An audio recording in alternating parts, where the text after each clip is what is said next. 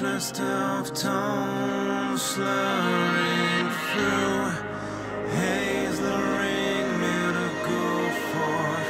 Bring them back to the place where they belong. Close to the aces of the